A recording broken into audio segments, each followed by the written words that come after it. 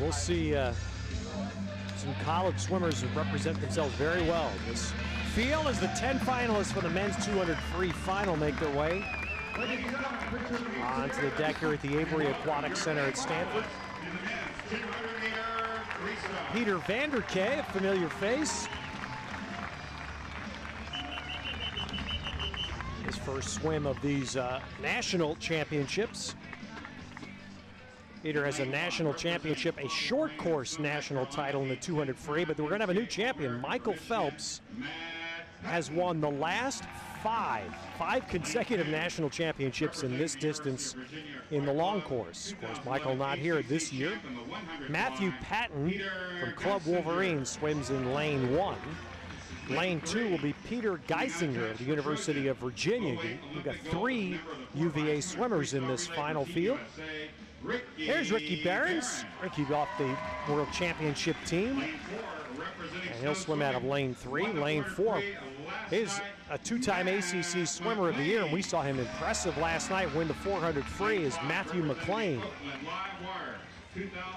Peter Vanderkaay will be in lane five.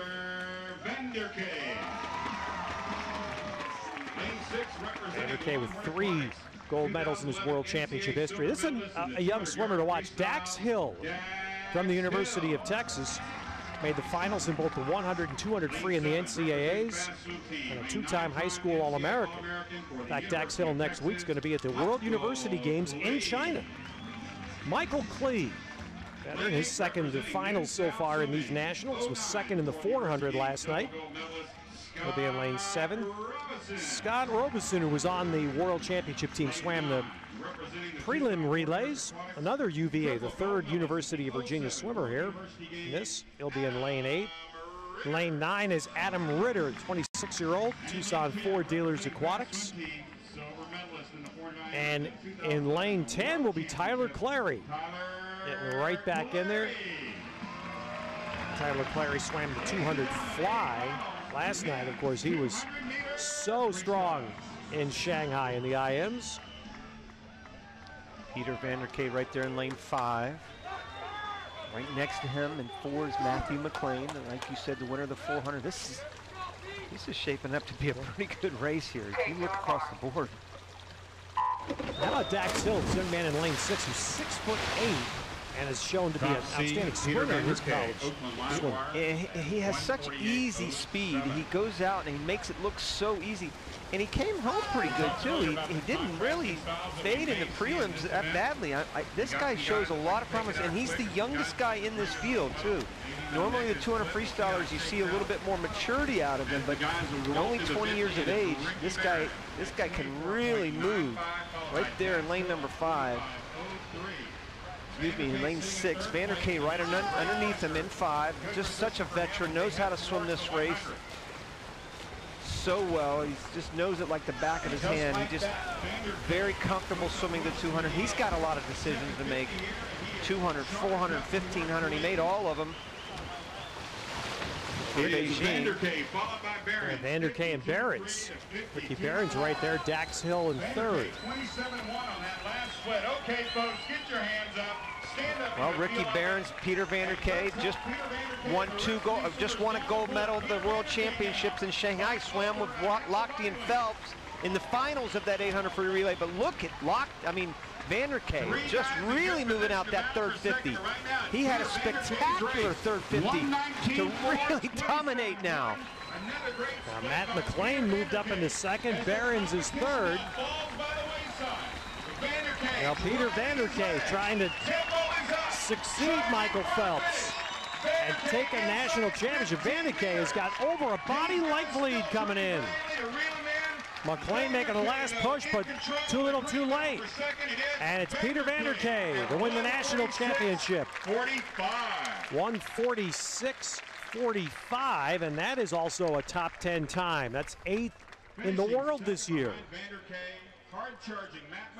McLean took second, and Ricky Berens third. You're so right, Ted. You, you, today, you have to break 147 to even have a chance to break the top 10 or 15 in the world. And off the blocks, Peter Vanderkaay in lane number five, Matthew McLean right underneath him in four. Both of them off the blocks very well, but that third 50, he just took off just right here. You can see, you see him just slowly but surely building that third 50. He was dead even at the 100. And look at this. All of a sudden it went from a half body length, and now with just a couple meters from the wall, he full body length, and he kept that the whole way, that last 50. McLean kind of came up on the end, had a swim a great time, 47 plus, but this was all about Peter Vanderkaay and that veteran experience that he has in this event. He's been around for a long, long time. And Peter Vanderkaay winning this, and we mentioned that's a top 10 time in the world this year. Matthew McLean swam a personal best by about half second to get second. Ricky Berens ends up taking third. And so Peter Vanderkaay has a new national championship to claim. Congratulations, Peter. Thank you. Good. Peter, Where, go ahead. Uh, I, you know, Peter, I, I, just was so impressed with your third 50. What did you decide to do that before the race to say I'm going to take off this third 50? That wasn't much as much as the third 50 as the back half. I just wanted to come home strong and you know hitting the third 50 is part of that. How does it mean you, Peter? We've asked a lot of the swimmers. You had the turnaround from Shanghai, the long trip. I mean, where do you get in the reserve from right now? you got to dig deep. Uh, the jet lag has affected a lot of us, but you know, he's still to come here and race and, and swim fast. Well, Peter, I know you, you, tell us a little bit about that experience in the 800 freestyle relay. I know you were part of that evening gold medal performance. What was that like? Oh, that was really exciting. Uh, the French gave us a, a good run, but we were able to pull it off. Ryan had a great anchor leg, and we broke away. Well, congratulations on tonight. Super job. Thank you. All right, Peter Vanderkaay, the national champion, and the men's 200 free. All right, we'll come back. The men's 100 back is coming up, and we'll get our look at Ryan Lochte.